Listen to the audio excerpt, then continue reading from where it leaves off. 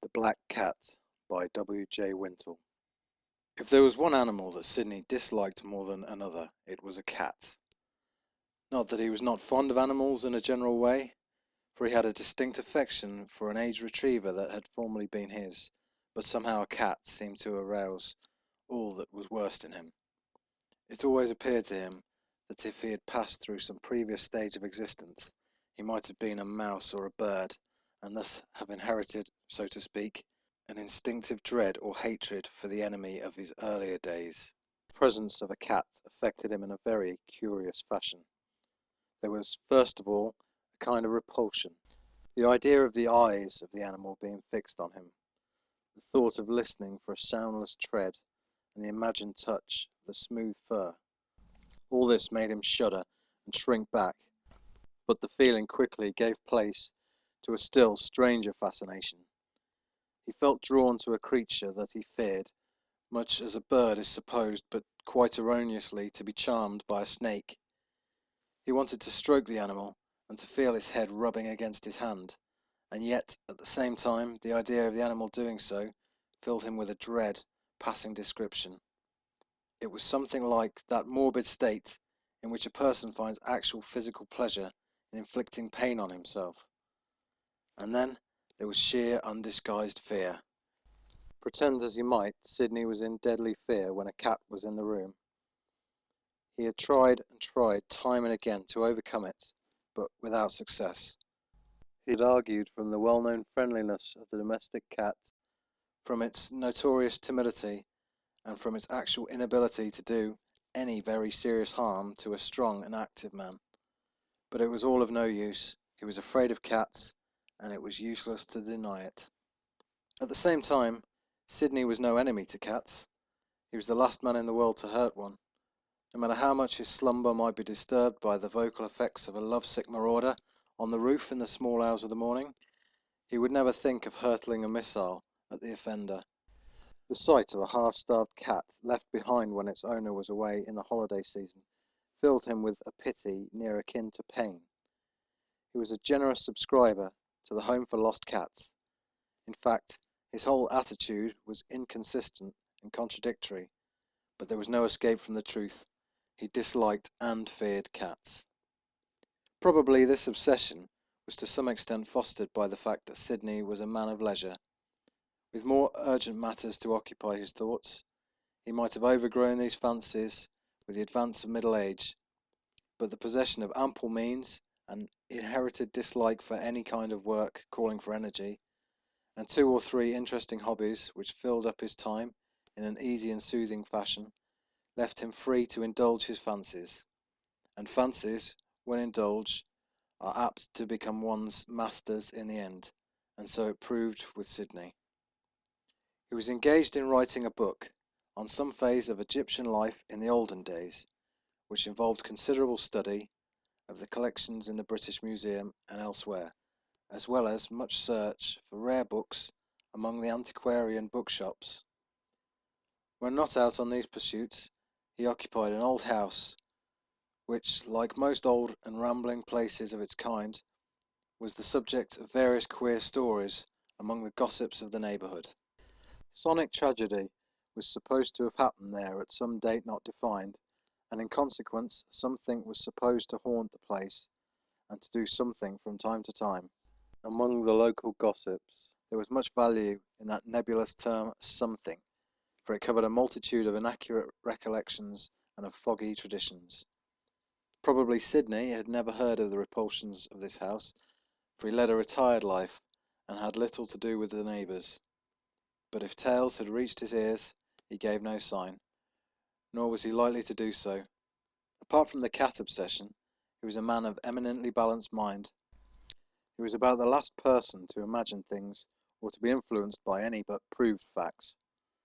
The mystery which surrounded his untimely end came therefore as a great surprise to his friends, and the horror that hung over his later days was only brought to partial light by the discovery of a diary and other papers which have provided the material for this history.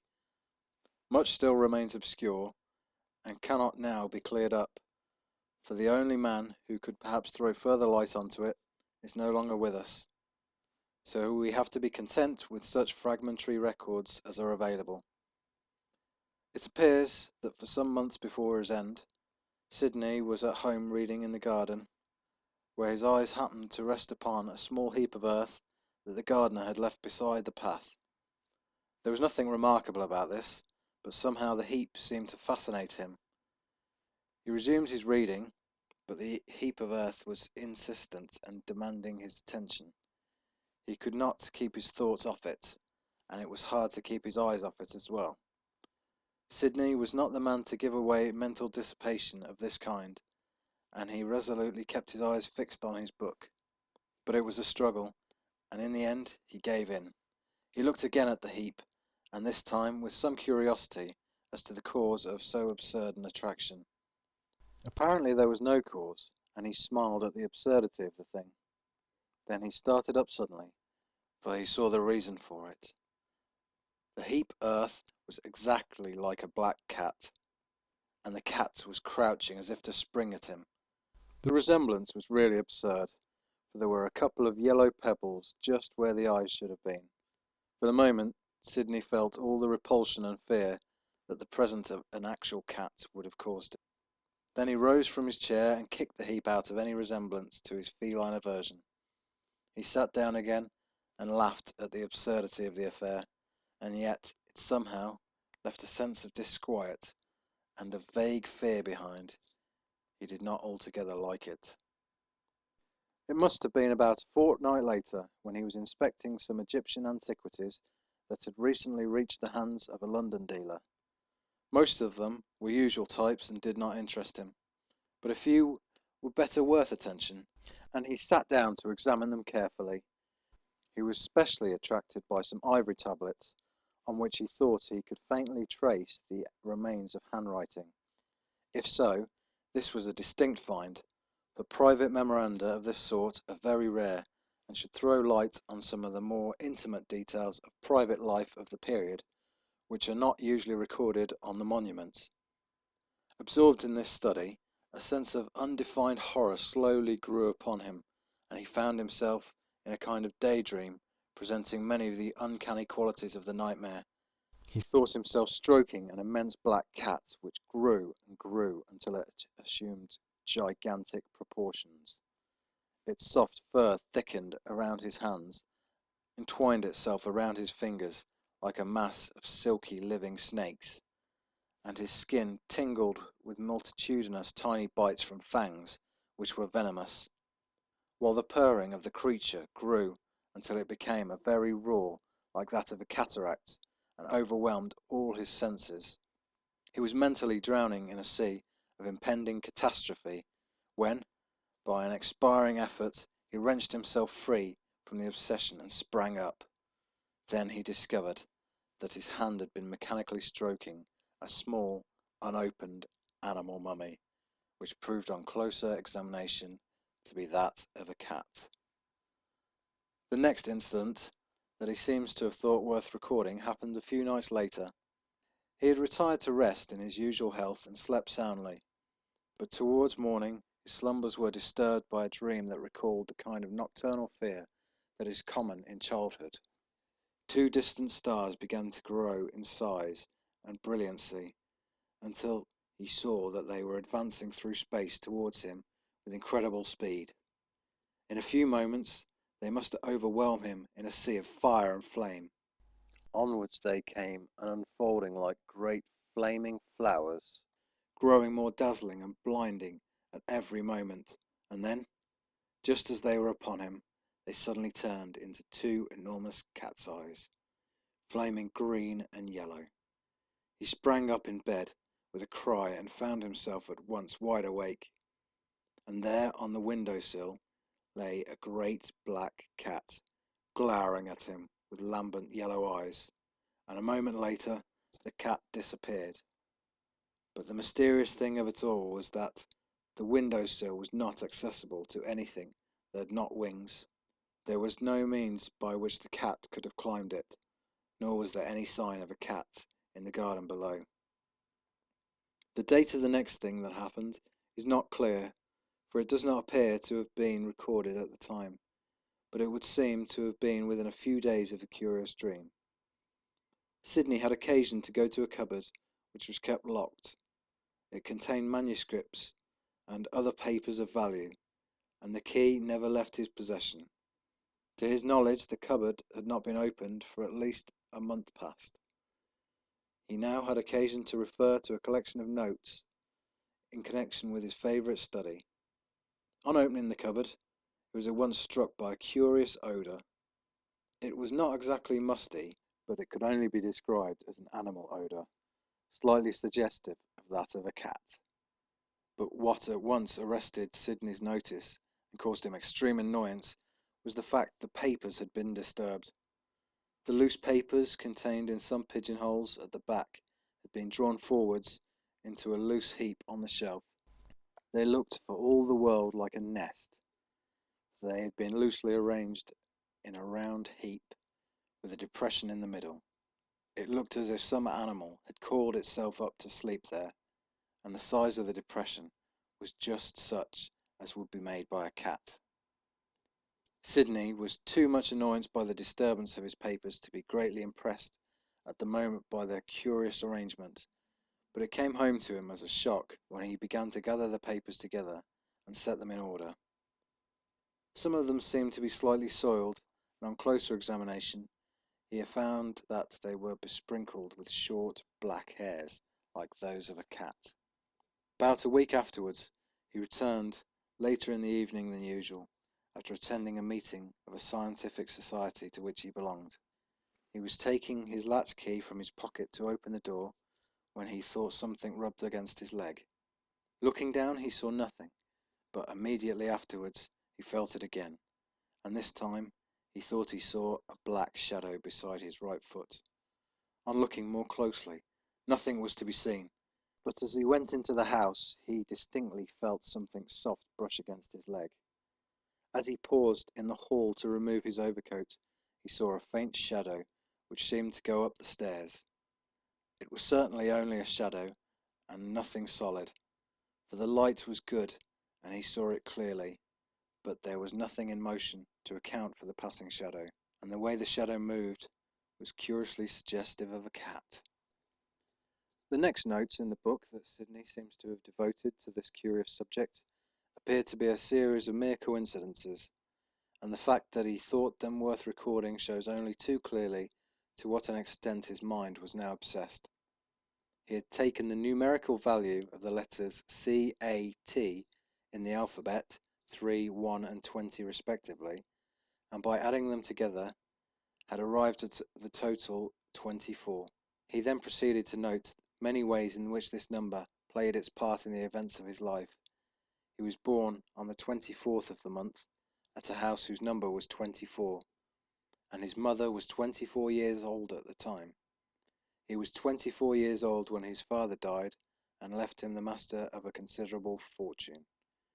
That was just 24 years ago, the last time he had balanced his affairs, he found that he was worth, in invested funds, apart from land and houses, just about twenty-four thousand pounds. At three different periods, in different towns, he had chanced to live at houses numbered 24, and that was also the number of his present abode. Moreover, the number of his ticket for the British Museum Reading Room ended with 24, and both his doctor and solicitor were housed under that same persistent number. Several more of these coincidences had been noted by him, but they were rather far-fetched and not worth recording here. But the memoranda conclude with the ominous question, will it all end on the 24th? Soon after these notes were written, a much more serious affair had to be placed on record. Sidney was coming downstairs one evening when he noticed in a badly lighted corner of the staircase something that he took to be a cat. He shrank back with his natural dislike for the animal, but on looking more closely he saw that it was nothing more than a shadow cast by some carving on the stairhead. He turned away with a laugh, but as he turned it certainly seemed the shadow moved. As he went down the stairs he twice stumbled in trying to save himself from what he thought was a cat in danger of being trodden on, and a moment later he seemed to tread on something soft that gave way and threw him down. He fell heavily and shook himself badly. On picking himself up with the aid of his servant, he limped into the library, and there found that his trousers were torn from a little above the ankle. But the curious thing was that there were three parallel vertical tears, just such as might be caused by the claws of a cat. A sharp smarting led to further investigation, and he then found there were three deep scratches on the side of his leg exactly corresponding with the tears in the trousers. In the margin of the page on which he recorded this incident, he added the words, This cat means mischief, and the whole tone of the remaining entries and the few letters that date from this time shows only too clearly that his mental outlook was more or less tinged and obscured by gloomy forebodings. It would seem to have been on the following day that another disturbing trifle occurred. Sidney's leg still pained him, and he spent the day on a couch with one or two of his favourite books. Soon after two o'clock in the afternoon, he heard a soft thud that might be caused by a cat leaping down from a moderate height.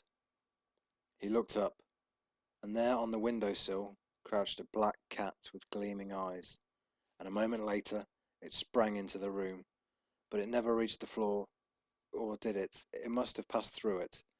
He saw it spring, he saw for the moment in mid air, he saw it about to alight on the floor, and then it was not there.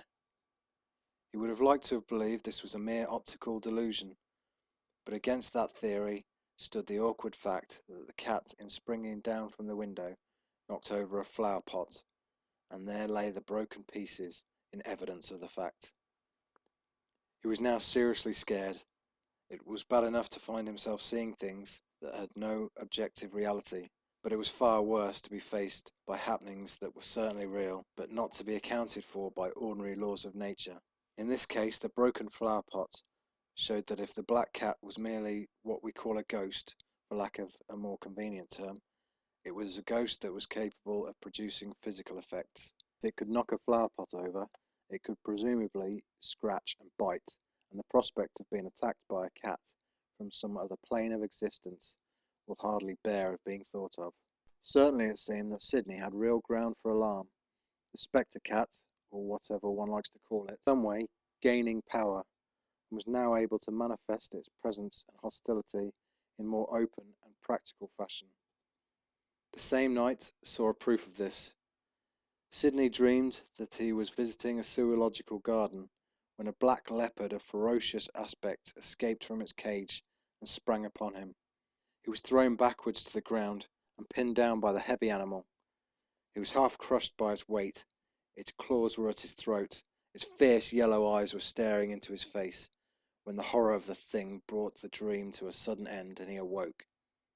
As consciousness returned, he was aware of an actual weight on his chest, and opened his eyes. He looked straight into the depths of two lambent yellow flames, set in a face of velvet black. The cat sprang off the bed and leaped through the window, but the window was closed, and there was no sound of breaking glass. Sidney did not sleep much more that night but a further shock awaited him on rising. He found some small blood stains on his pillow, and an inspection before the looking glass showed the presence of two groups of tiny wounds on his neck. They were little more than pinpricks, but they were arranged in two semicircular groups, one either side of the neck, and just such as might be caused by the cat trying to grasp the neck between its two forepaws.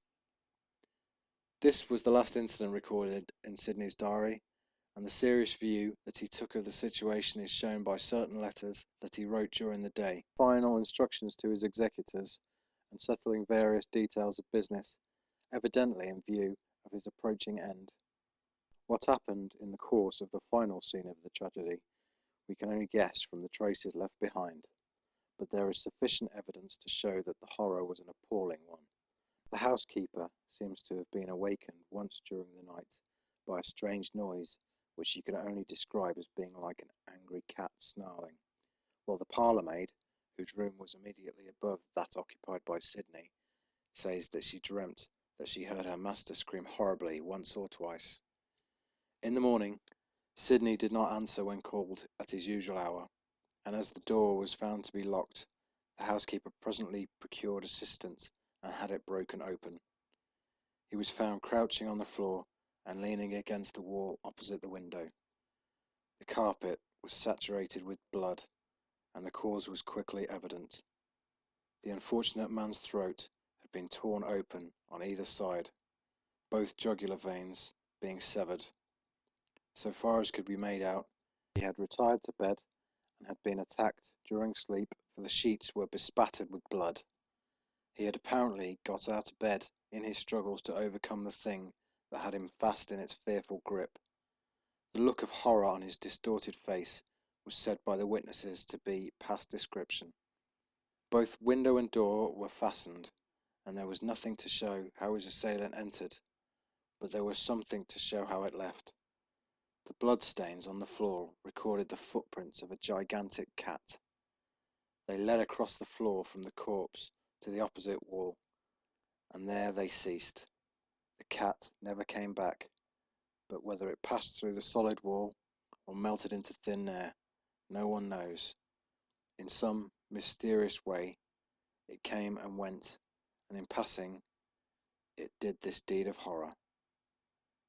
It was a curious coincidence that the tragedy took place on Christmas Eve, the day of the 24th of the month.